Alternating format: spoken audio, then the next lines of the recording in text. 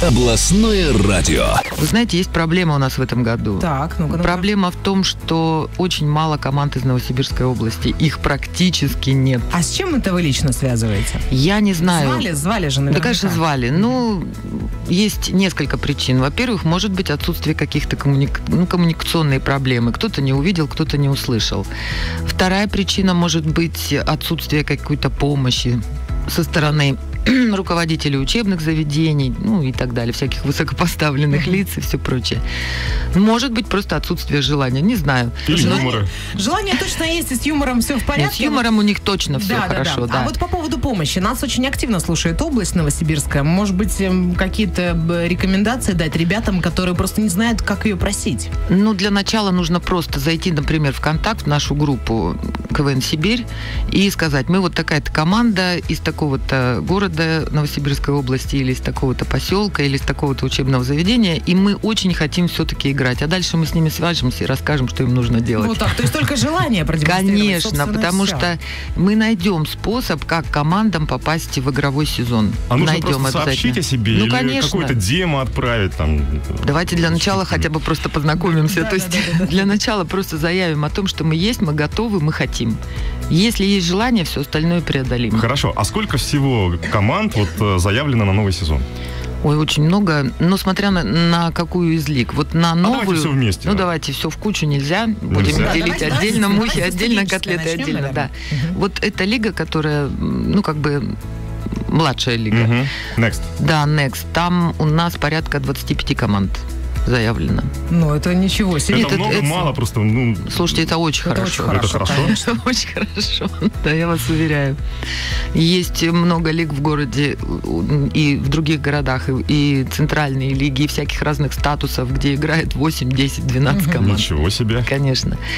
Вот. А в Сибири пока еще у нас не полностью укомплектован состав, потому что продолжается прием заявок. Дело в том, что команды, которые съездили в Сочи на фестиваль, Мгм. со всей России нашей, и не только, они сейчас находятся в стадии такого самоопределения.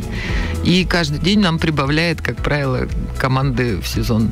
А самоопределение, что вы имеете в виду? То есть им в Сочи понравилось и думают, стоит ли А продолжать вам бы не дальше? понравилось А в Сочи? не хочет? Если Слушай, честно, я был в Сочи, мне там да, очень не понравилось. все регионы посматривают в сторону Смотрите, туда. Я не ле- про КВН сейчас, я про Значит, Сочи. летом я тоже Сочи не люблю. Да. Но когда вы туда приезжаете зимой, из наших минус 30 в их плюс 20, ты сразу начинаешь любить.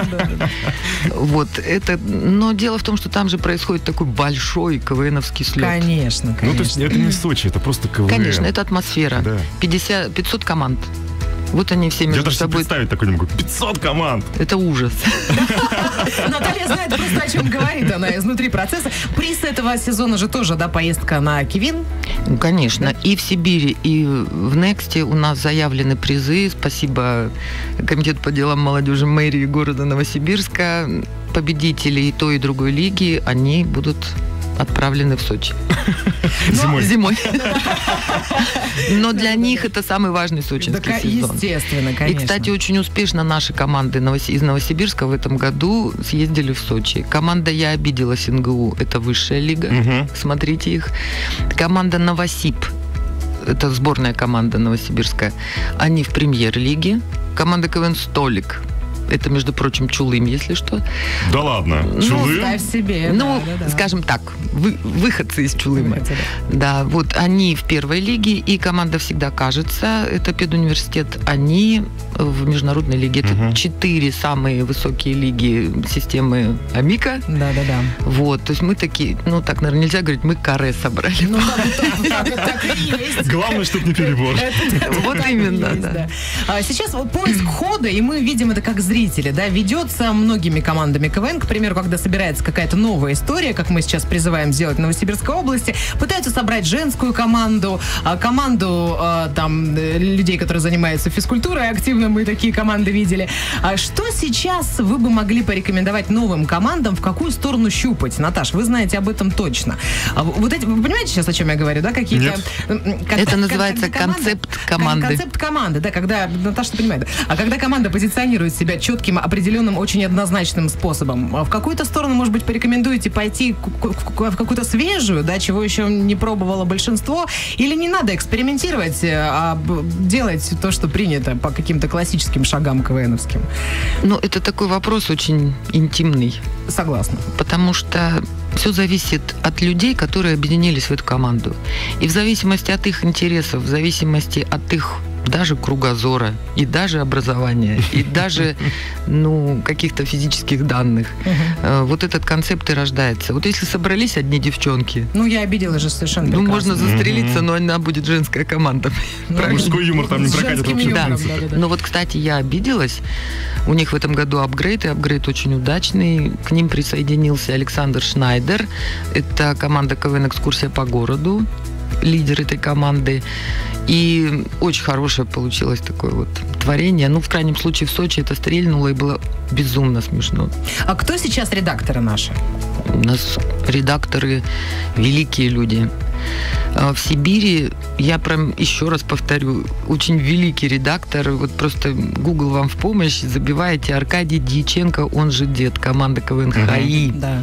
Это великий человек, э, один из лучших редакторов. Вот э, в свое время на юбилей КВНа были подарены такие специальные знаки, золотые с бриллиантами, их всего три. И вот знак номер один подарен как раз Аркадию Диченко. А Евгений Куратов пишет еще или уже все? Ну, это НГУ, это... Это отдельная это, история, это да? отдельная история, но, кстати, в НГУ сейчас был вот всплеск такой ренессанс КВН, но сейчас как-то опять... Как разучит ренессанс. Ну, еще и. Ярошевский, да, сейчас? Илья Ярошевский Илья Ярошевский. в Сибири. И третий редактор у нас, он же ведущий, это команда КВН «Сердце, Сиби... Сердце Сибири», Егор Канцев, Но хоро- премьер-лига. Хороший редактор, э, это что за понятие такое? Ой, хороший редактор – это, кто когда, в теме, это наверное. когда хорошие команды. Ну да, то есть в итоге в ре- в результате мы видим то, что потрудился, конечно, славный Нет, редактора, человек. конечно, редактора, конечно, Ну, сколько несут процентов успеха? огромную, несут огромную нагрузку, потому что они способны мотивировать команду. С другой стороны, они способны дать понять, что вам нечего делать больше в КВН. Они могут э, помочь команде творить, могут э, направить. А самое главное, у них есть вкус к юмору. И у них есть четкое понимание, что смешно, что не смешно. Это вот от природы. Ну так это главное. Я Конечно. всегда считал, что сыграть шутку может любой, а вот придумать, написать ее, это дано далеко не всем. Это да. Но вы когда видите, что ребятам в КВН действительно делать нечего, и абсолютно искренне чувствуете это сердцем, сложно озвучивать э, такое, такое отношение? Ну, вернее, не позицию, да, вашу. Или вы сделаете это очень прямолинейно, дабы, дабы, конечно, э, ребятам было потом легче, потому что они будут эм, реализовываться в каких-то других местах. Слушайте, так не бывает. Не бывает. да? Потому что очень часто приходит команда абсолютно никакая, они даже микрофон не умеют держать в руках, не говоря уж о том, что писать какой-то юмор. А потом они играют, они развиваются, они начинают э, чувствовать вкус, причем вкус э, даже, наверное, не к написанию, а к тому ощущению на сцене, когда ты выходишь, и зал твой. Мгм.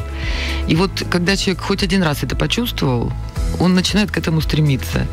И у меня есть примеры команд, которые были в своем первом сезоне абсолютно неадекватные, и тем не менее они достигли и высшей лиги, и очень успешными стали. Я только не понимаю, вот эти неадекватные ко- команды, вы для чего берете? Чисто поржать?